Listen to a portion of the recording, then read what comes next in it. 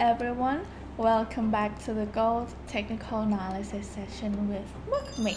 So, yesterday we hit our take profits. Well done everyone, congratulations on your profits and I will talk you through what happened and why did I send out the signal.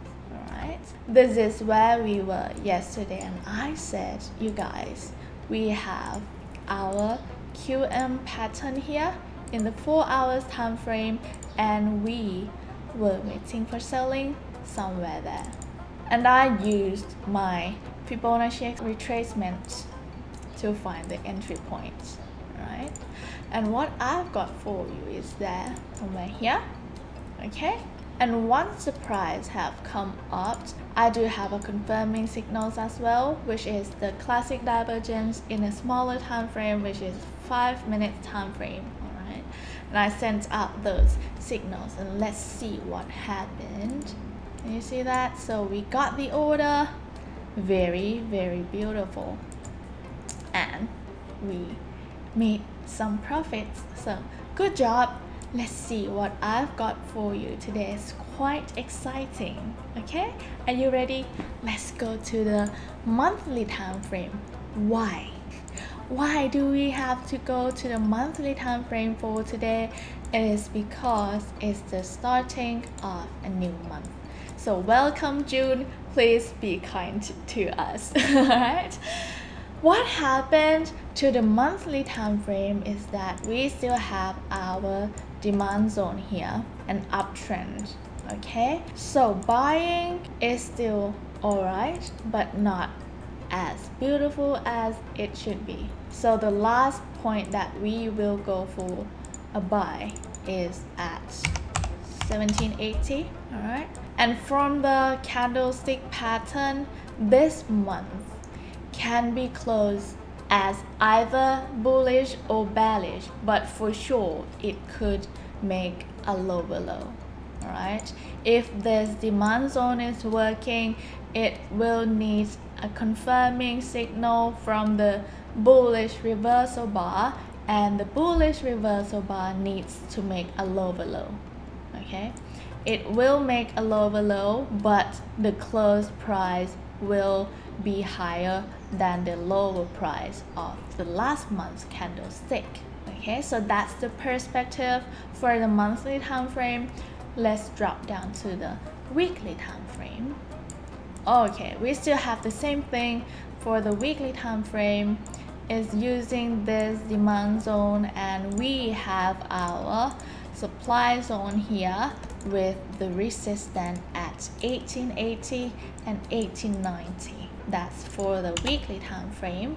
What about the daily time for the daily time frame this demand zone is very weak and it will be removed very soon.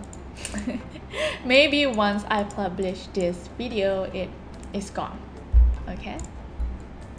So we have our supply here for the daily time frame at 1880 as always and in the daily time frame what I've got for you next is that the resistance at 1860 is very strong what about the supports? Not quite sure in this time frame, alright? But I know that it's somewhere around 1830. It's in the 4 hours time frame. Let's drop down one. I will remove this demand zone for a daily time frame. So in the 4 hours time frame, oh, interesting. So I have this supply zone for you, which is the resistance at around 18 50 beautiful so the first point for selling in this time frame is 1850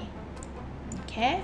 What I have for you next will be in the one hours time frame. I actually I have already sent out the signal for today which is this one.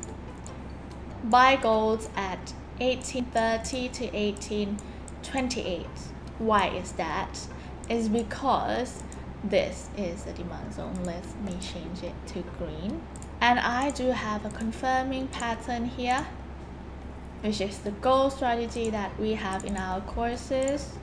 I use my Fibonacci extension and this is exactly the price that I set on my telegram so this is our plan for today I have already confirmed it in our telegram alright what about the selling plan? In the one hour time frame you will see one more resistance here at around 1840 something okay?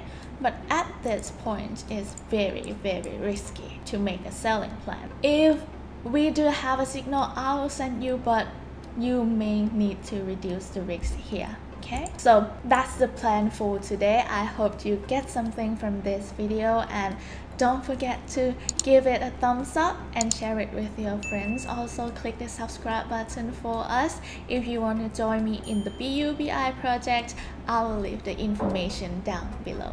I'll see you in there. Bye